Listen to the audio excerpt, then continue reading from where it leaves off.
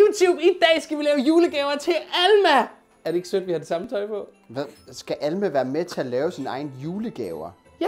Hvad, så ved hun jo, hvad hun får. Prøver du at snyde dig til at finde ud af, hvad du får i julegave? Ej, din lille bisse. YouTube, Alma hun kan ikke være med. Jeg tror altså heller ikke, hun er gammel nok til at være med på YouTube. Så Alma, du kan lige øh, lave det, som en baby laver. Farvel YouTube, farvel! Okay YouTube, jeg har glædet mig vildt meget til at lave den her video, fordi det er vores første jul med Alma, og derfor også første gang, at jeg kan lave hjemmelavede julegaver til hende. Og det er noget, jeg virkelig synes er hyggeligt. Jeg har virkelig alle mulige idéer, faktisk. Alma mulige idéer. Var det ikke det, du sagde? Det- Okay, Mark, du får den. Det var faktisk en meget god joke. Jeg har mange idéer. Rigtig ja. mange idéer. Og lad os bare komme i gang og se, hvor mange vi kan nå. Det første, vi skal i gang med, er... Tada! Den kan du da ikke passe. Nå nej. Det er til Alma. Det her er tøj til Alma, men I kan godt se, at der er noget helt galt med den. Den er helt hvid og kedelig. Så lad os putte noget farve på. Mark, det her. Det er gul farve, og jeg har virkelig fået en sjov idé. Jeg siger ikke, hvad vi skal lave, men så kan I jo selv gætte det. Okay, vi skal ud i køkkenet så.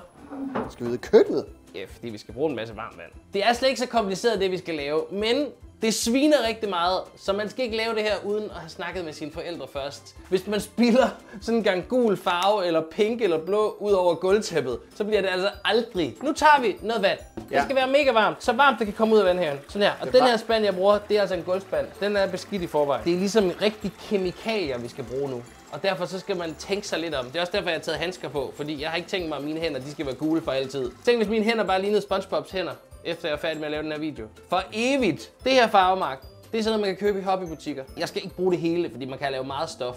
Altså, jeg skal vildt lave verdens mindste stykke tøj. Du kunne også lave en sok. Men en sok til dig må måske vil være det samme, fordi du har meget store fødder. Kan vi så Ja. lige holde fokus her? Jeg tager halvdelen af posen. Oh! Så al farven er her i, og alt det hvide, det er salt. På internettet siger det, at man ikke skal putte salt i, men damen nede i butikken sagde, put noget mere salt i, så det gør jeg også. Så putter jeg salt i. Det skal lige opløses godt. Så er det vigtigt, at man lige tager det tøj, man skal farve. Jeg tror faktisk, jeg lige knapper det op her. Så der ikke er nogen underlige folder. Og nu gør jeg det lige vådt. Nu er den her våd. Den er fuldstændig gennemblødt. Ah! Ja, det virker. Okay, men det skal jo være meget mere gult. Der står på pakken, at det skal være hernede et kvarter, hvor man sådan hele tiden holder det i bevægelse. Det er så, at der kommer vand. Er man sikker på, at der kommer vand ind alle vegne? Du kan jo lige stå her og røre rundt. Ja. Så går jeg ind og forbereder det næste. Okay. Så stå, rører du bare lige rundt et kvarter.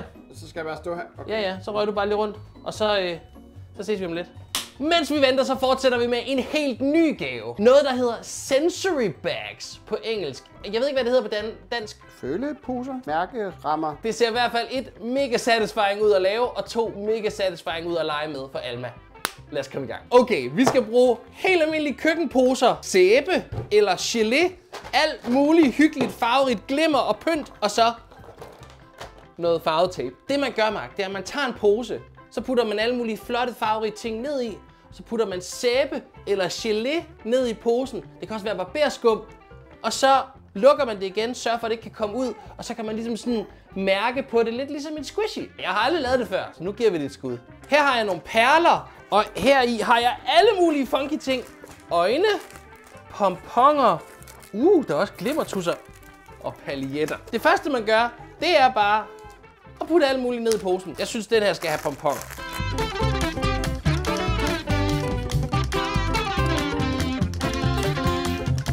Hvad med et lille skud paljetter? Man kan også godt give den et lille skud glimmer, kan man ikke det? Jo. Nu har vi en rigtig flot, funky blanding hernede i. Nu putter vi sæbe ned i posen. Sæbe. Ja. Det her er i virkeligheden gaven, Mark. Så kan man Ja. sidde og røre ved det her. Ej, prøv lige mærke. Lad være! Du skal ikke pille mere med den. Du skal ikke kaste den. Der kommer... Oh! Det, det, der er med babyer, det er, de, de hører jo ikke efter. De kan godt finde på at kaste ting ud over det hele. Så derfor så gør vi altså lige det, at vi tager og folder den her top ind, og så putter vi noget farverigt tape udenpå, så vi er helt sikre på, at det lukker tæt.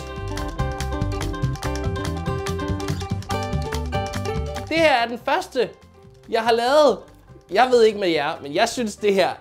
Altså, I kan ikke mærke det, men det er super satisfying. Og sæben er også sådan lidt koldere. Det er som om den dufter igennem posen. Og nu er der både glimmer, paljetter, pomponer. Mark, jeg bliver nødt til at lave en mere. Jeg ved ikke, om det virker. Nu tager jeg en håndfuld perler. Sådan der. Og så tager jeg barberskum. Eller barbergelé. Okay. Jeg ved ikke, om det virker. Nu eksperimenterer vi, Mark. Sådan der. Altså, jeg Vi ved har jo godt, det er lært, ikke... at det vokser over til sådan noget skumagtigt. Ja, så nu lukker jeg den. Og så begynder vi at mose det rundt. Posen bliver fyldt op med luft. Hvordan kommer luften derind? Jeg har jo lukket posen. Det er barberskum, der kommer til at fylder mere og Det er mere. videnskab, vi forstår det ikke. Man kan ikke se Perlerne. men prøv lige at mærke. Man kan mærke Nej, jeg dem. kan mærke dem. De er derinde. Er det ikke satisfying? Jo. Nu gør jeg det, at jeg klipper toppen her af, fordi så kan jeg få tapen til at være helt præcis. Skal der være banantape på, søde dyr tape, spejlægstape. Spejlæg. Spejlæg! Ja. Okay. Hele vejen ud. Hvis man vil, så kan man godt sætte et ekstra lag tape på selve åbningen af posen, fordi jeg tror godt, sådan en baby kan finde ud af at åbne posen, og det er jo ikke så godt. Jeg kan ikke lave det på alle de andre linjer, for der er for meget, der er for meget barberskum i. Men jeg har sørget for, at den her har fået et ordentligt ekstra lag. Og jeg tror, jeg tegner på den med... Det ville virkelig være heldigt, hvis jeg havde en tus, var. Du har tusind tusser. Sådan her. Hvad skal jeg tegne? En snemand. Snemandsmonster. Jeg ved, nu, jeg ved faktisk ikke, hvad jeg tegner. Nu tegner. Vi tegner bare et lille monster.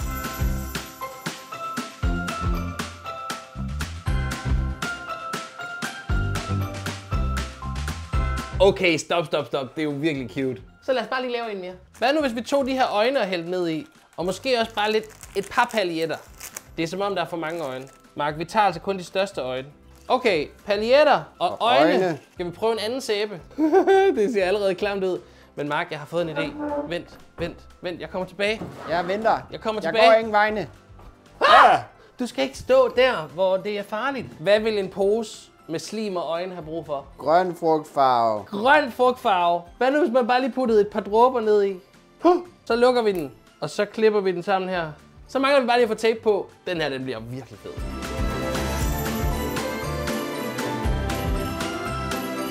Tada! Jeg vil sige, de to sidste, jeg lavede, de er altså blevet gode. Den her er både virkelig flot at se på, især når jeg sådan holder den op mod lyset. Og den er helt dejlig kold, og den her er virkelig squishy. Og så samtidig har den alle de der små kugler, som man sådan kan squishe rundt. Det her, det tror jeg Alma hun bliver glad for.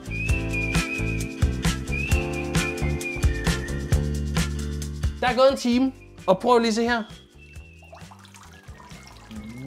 What?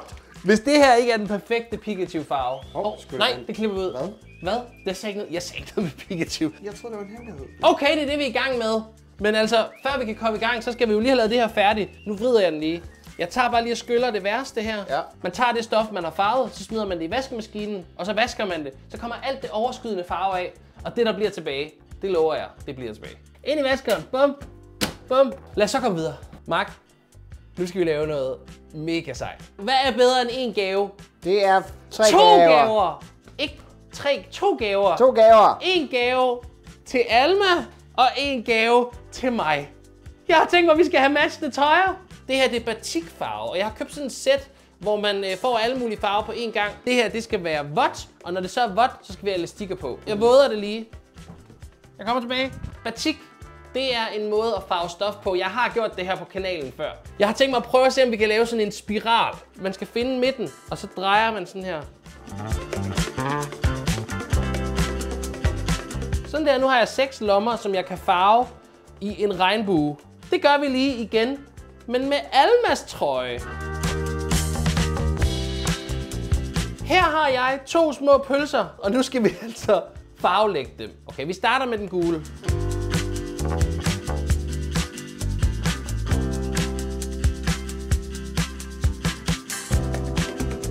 Nu gør vi det samme på bagsiden. Nu er de færdige. Altså bortset fra, at de lige skal have lov at ligge i, ja det ved jeg ikke, 6, 5-6 timer. Vi skal lave flere gaver, mens vi venter. Men det her, det tror jeg lige at smide ned i en plastikpose. Så lukker vi det sammen, og så kan det ligge der rigtig og godt sig. De har fået lov at ligge, ikke i 6 timer, men i 2 timer og trække. What? Oj! Ej, hvor er det flot også på den her side. Ligesom med den gule, så skal det vaskes. Så alt det overskydende farve ryger af, og så bliver det sådan lidt mere pastelagtigt. Skal vi lige se, om min er lige så flot? Nej, hvor er det fedt. Jeg går ud i vasken, og så skyller jeg det, og så smider vi det i vaskemaskinen. Og når det så er helt tørt, så kan Alma og jeg prøve det på. Men ved du hvad, Mark? Faktisk så kan jeg snyde. Så prøv lige at se her. Her er et billede af mig og Alma i matchende outfits. Er det ikke cute? What? Ej, det er genialt.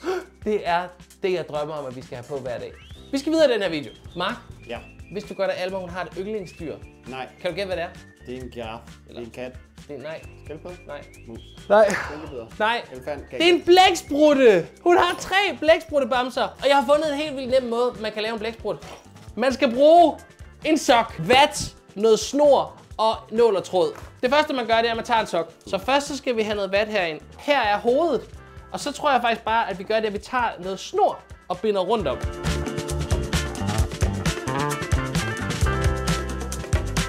Og nu skal vi til det sjove. Vi skal tage alt det her stof, der er hernede, og skal vi klippe det til blækspruttearme.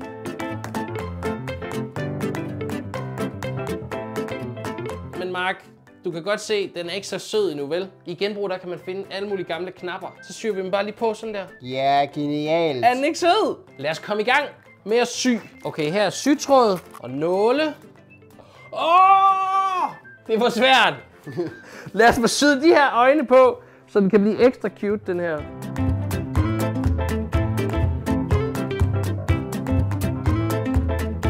Sådan der. Det var et øje. Mark, havde vi egentlig ikke aftalt, at du skulle tage æbleskiver med? Jeg har også glemt at tage min julesvætter på.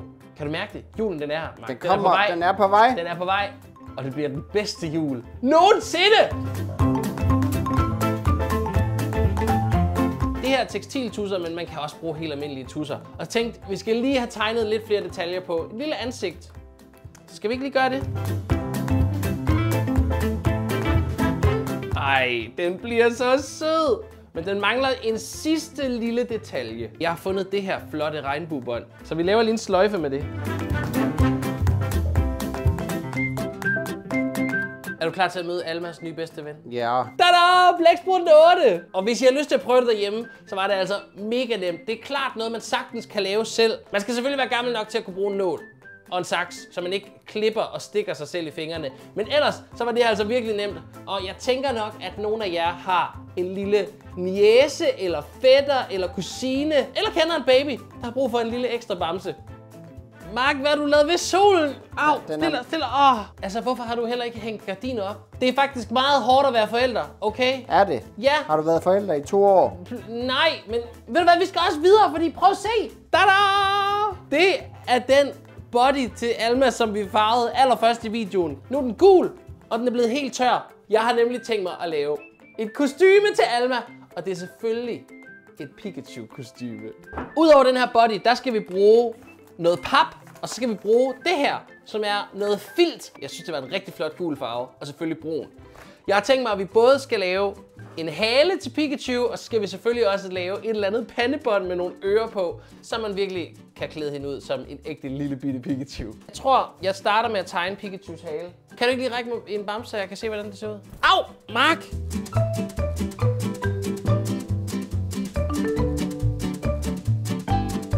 Jeg tegner op sådan cirka et par centimeter rundt om.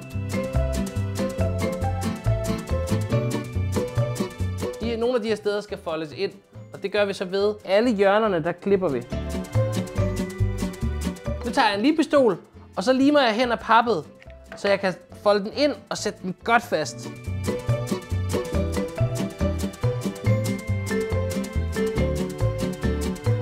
Okay, Mark, den er selvfølgelig ikke helt færdig, for vi skal lige have noget sat på her til at dække alt det her gris, ikke? Så det fikser vi også lige. Så skal vi bare den limet på, og den kan ikke få for meget lim nu. Det her er ligesom numsen. Vi skal nok have den sat her. Vi syr den på, Mark. Det er super. Men Mark, jeg har selvfølgelig også noget brun filt. Ja. Fordi Pikachus hale, den er jo, altså, den er jo brun nede i bunden.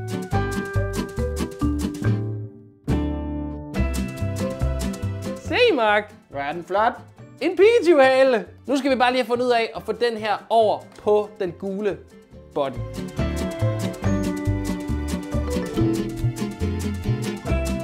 Vi bliver nødt til at give Alma det på, men først så skal vi selvfølgelig lige have lavet det til hovedet også. Du har fundet pandebåndet frem. Der er lige møs. Så har vi et pandebånd, men Mark, mangler selvfølgelig nogle ører for at blive til Pikachu.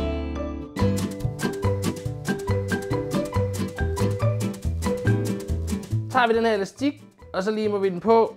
Og elastikken, den skal jo ligesom bruges som sådan et bånd, der kan gå rundt om hovedet. Vi mangler lige at lave to hurtige ører.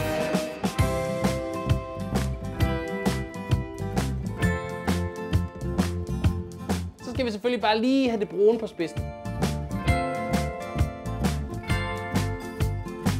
Første øre. Se, så kommer den til at sidde der. Ja. Se lige her, jeg fikser lige det sidste øre. Sådan. Ej, hvor bliver det godt. Pikachu-kostymet er færdigt. Mark, det det, passer. det er jo en julegave. Sådan, Du behøver Mark. da ikke at vente til juleaften med at få sine gaver. Det behøver man da overhovedet ikke. Så kan Alma få alle sine julegaver lige nu. Alma! Se, hvad jeg har lavet til dig. Jeg vil sige, at det her det er en succes, Mark. En squishy. Og den dufter af barberskum. Ej! Er det sjovt? Jeg vil sige, at de her squishies, kæmpe succes. Er jeg lidt nervøs for, at der lige om lidt går hul på poserne, og der er sæbe ud over det hele? Ret meget, faktisk. Men det var sjovt at lave. Spørgsmålet er, hvor længe hun skal lege med dem. Det er også blevet tid til at prøve den vigtigste gave af dem alle sammen. Og der bliver vi nok nødt til at lige gå ud og skifte tøj. Kan vi sige, der kravle med den flotte hale. Det her det er mere en julegave til mig end til Alma. YouTube, tusind tak fordi I har set med i den her video. Jeg håber, I er blevet inspireret til at lave nogle julegaver selv. Måske I ikke skal lave en julegave til en baby, men til en voksen eller til en af jeres venner. Hvis I skal have noget inspiration, så har jeg linket til noget lige her på skærmen, så I kan bare klikke på det. Og øh, så ses vi igen i næste uge. Der kommer en ny video, og det er helt sikkert noget juleagtigt. Ikke Alma? Det kan være, du skal have lov til at vælge. vi ses!